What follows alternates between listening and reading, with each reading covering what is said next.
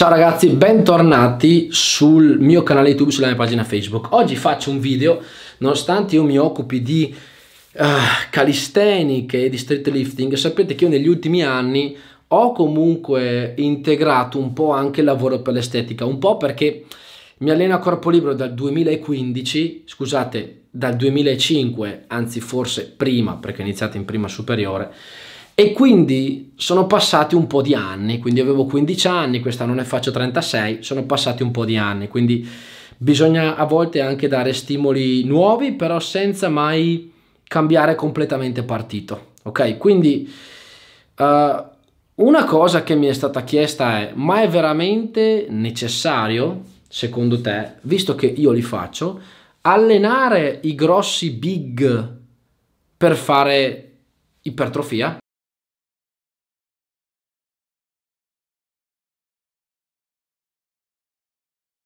Ora, io ho fatto l'ultimo anno e mezzo un off season e ho cercato insieme ad Angelo di costruire qualcosina e gli effetti positivi ci sono stati, sono stati utilizzati dei fondamentali, i miglioramenti ci sono stati.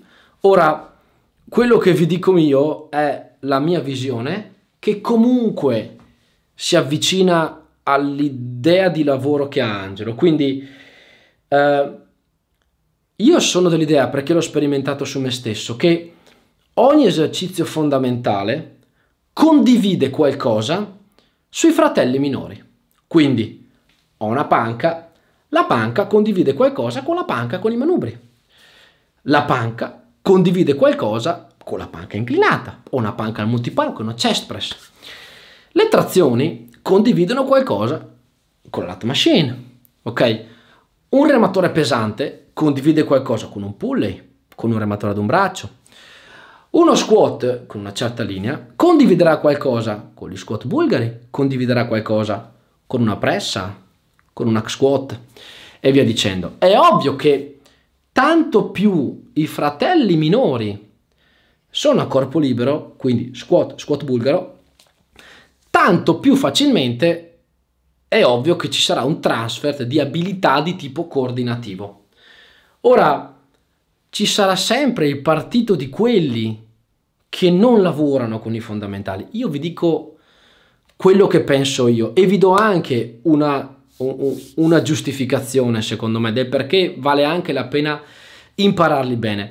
I fondamentali insegnano delle traiettorie, delle linee di spinta, linee di spinta eh, sulle quali sviluppando una certa abilità nel sollevare carichi pesanti, io sarò poi in grado di aumentare i carichi sui fratelli minori. E se poi la tensione meccanica è una delle componenti fondamentali, aumentare i carichi un po' dappertutto ci sta. Ovviamente ci sarà sempre, ripeto, perché l'ho conosciuto, ma per esempio Marcello del Fitto, che secondo me, ripeto, è una persona estremamente intelligente e le sue idee poi danno dei risultati. Andatevi a vedere la sua pagina, tra l'altro ci sarà un corso con Angelo a fine maggio. Non so se questo video uscirà prima, non ne ho la più pallida idea, potrebbe uscire anche dopo. Eh, comunque vi dicevo, ehm, ci sarà sempre chi si allena a ripetizioni altissime e carico basso, quindi questa persona qua non ha bisogno di aumentare in modo smisurato la forza sui fondamentali. E in parte è vero. E qui c'è un po' capire se la verità sta nel mezzo, cioè se io devo tenere volumi altissimi carico basso oppure fare volume un po' più basso carichi più alto. Alla fin fine magari il tonnellaggio è lo stesso, solo che da un punto di vista di economicità proprio del tempo dell'allenamento, andare ad aumentare il carico e fare qualche ripetizione in meno, magari potrebbe essere più conveniente alla persona comune. Dall'altra parte dico, una cosa che può farti migliorare è una cosa che invece non hai mai fatto, quindi sei sempre stato nel range 8-10, prova ad andare nel range 20-25 o anche di più, ok? Quello che però è il succo del discorso, è che imparare le linee di spinta su degli esercizi fondamentali ti può aiutare sui fratelli minori, che molto spesso i fratelli minori sono quelli che ti danno magari la specializzazione dove tendi a Uh, a farci magari un pochino più di volume di lavoro perché a livello articolare sono un pochino meno stressanti. Quindi andare a migliorare sui fondamentali può essere una buona idea per uh, trasferire poi delle abilità coordinative negli esercizi più semplici, ok? E questa è la prima cosa. Poi è ovvio che i fondamentali vanno fatti con un po' di criterio e qui c'è un concetto secondo me su cui Angelo rimarca sempre e io ho capito nel tempo il perché di questa cosa, cioè quando tu vai in cat e utilizzi gli esercizi della forza magari in autoregolato per mantenere la massa magra, per ottenere quindi il massimo reclutamento a certe intensità, che può essere per esempio l'80%, se tu vuoi mantenere il muscolo, in, eh, il muscolo che hai guadagnato, dovrai cercare di utilizzare quelle linee di lavoro che ti permettono di reclutarlo. E qua non ci piove. Se il fondamentale che io ho imparato prima però ha delle linee sbagliate, io imparerò a mantenere, il mio, il mio corpo manterrà tutto ciò che io vado ad attivare con le linee sbagliate. Quindi devo mantenere la coscia ma faccio uno squat che è troppo catena posteriore? Quello che succede è che quando vado in cut i quadricipiti non li mantengo, magari vado a mantenere molto di più il culo e vado a mantenere molto di più la schiena. Questo è un esempio.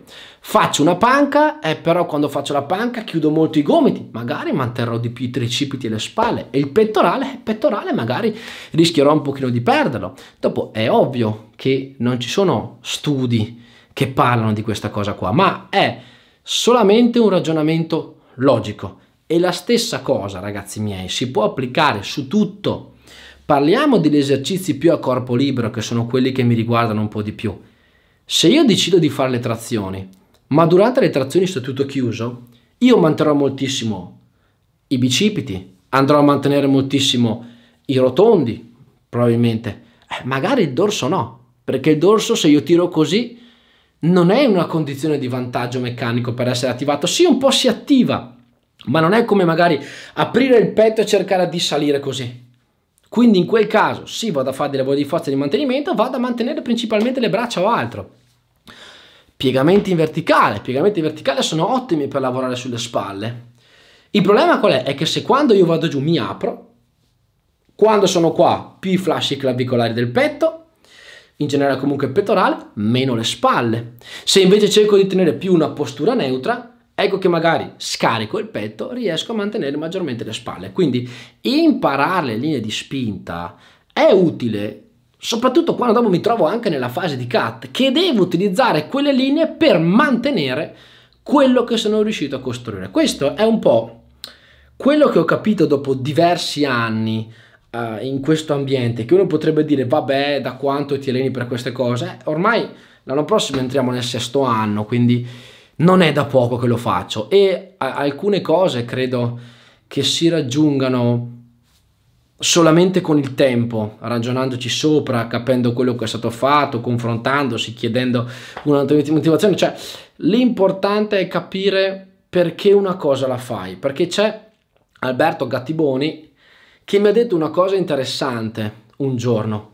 Quando tu fai qualcosa che è diverso dall'ordinario, se mi sai dare una motivazione, allora potenzialmente è una cosa giusta. Se non me la sai dare, allora è un errore. Ciao ragazzi, ci vediamo al prossimo video.